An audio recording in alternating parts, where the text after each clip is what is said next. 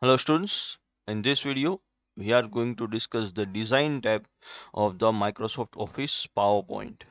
So let us start with the various designs. Okay, you can use the designs which are available in your PowerPoint software. You can also select the designs in the online versions also. You can select the slide size. So let's start with the first with the slide custom slide size. By default generally we can use the 4 is to 3 format ratio format. Generally we use this or the second one is the widescreen option. Or you can use the 16:9 ratio or you can use the 16:10 ratio also. You can use whichever whichever which is useful to you. So for example if you know the size of the screen which you will be using then you can use that specific slide also. Okay? That slide also. Now you, there are two options which are available here. So in this you will be scaling to a new slide size and it would like you to maximize the size of your content or scale it down to fit the new whichever you want to use. It depends on which on the format which you are going to use. So whenever you start start with the PowerPoint presentation you want to create a presentation the first thing you have to do is the design and select or select the design of your slide. And for that first first part should be selection of your slide size. Right now I am going to start with the widescreen option which is available on my computer. And I am going to use the maximize option right now. Okay? And next option will be the formatting the background. I can change the background whichever I would like to use okay so select this also by the here also. Okay you can use any of the backgrounds or you can also create your own background by just selecting the image which you have downloaded. For example i am selecting the image. Okay this will be my background. Okay so right now I'm going to use the gradient field which is the option available here. Okay? That's all. Uh, for the slide size and the format background option. So now next option which will be the slide different options which are available which I want to use okay you can use any of the options. Widescreen. Okay.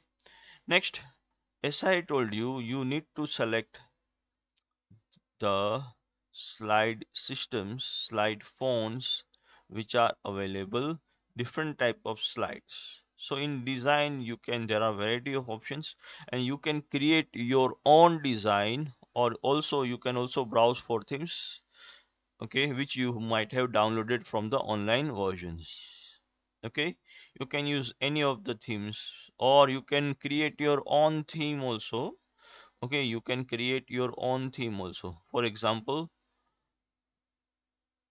for example you can change the custom colors you can change the fonts whichever you would like to change. Okay so some of the fonts are used by default in the some of the slide editing options. So next option how to design your slide. Okay let us start with that option. So right now i have used this uh, this design which is the wood type. And i would like to further edit this wood design. Okay i would like to edit for that. I'm going to use the function which is there in the view tab in the view tab. In the view tab I am going to click on the slide master. I am going to click on slide master. And the in the slide master I will pull this and I'm going to select the first slide. This will be my first slide and I'm going to start designing my slide from here itself. Okay whichever design you use okay. So by using this it will save my editing time and confirm the uniformity in the case of design in the PowerPoint presentation. Now let us add shapes. For example for example I'm going to use this square. Okay. Next I'm going to select the color.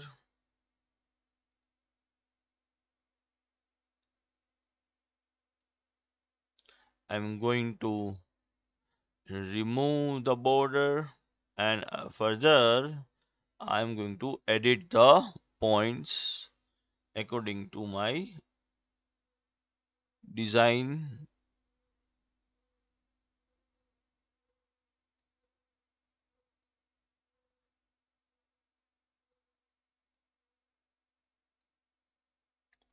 next further edit points. So you can design your own whichever you would like to use. Okay. Now you can see in the all slides okay except the header slides you will see this design. Okay as the fonts used here are already good i will not i'm not going to change the fonts here but i want to use let's say uh, this bullet option star bullet option. I would like my text to be justified. I would like my text to have line spacing of 1.5 I would like to increase the font size. You can do here itself. You can do here itself for example in the second level I'm want to use this dark color. Okay you can select this by default. Okay and in the slide master further I'm going to change the I'm, I can challenge the different color options. I can change the different theme options again or I'm going to use the let's say effects option.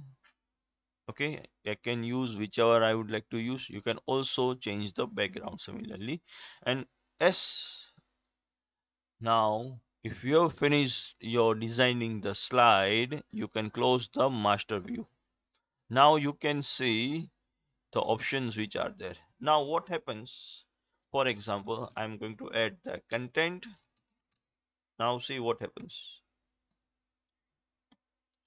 so you can see color has changed automatically. I have not changed the color by myself here. Okay this is how good if it is good if you use the slide master options. So first before starting the presentation so please start with the designing of a slide for example in designing of the slide first you need to select the size of the slide then go to the slide master select a theme or create your own theme also. Or you if you want to use the used theme and if you want to edit you can do that way also. And check the fonts design whichever you would like to add. And just close the slide master and save your presentation okay and save your presentation. So this step basically reduces your time of the editing.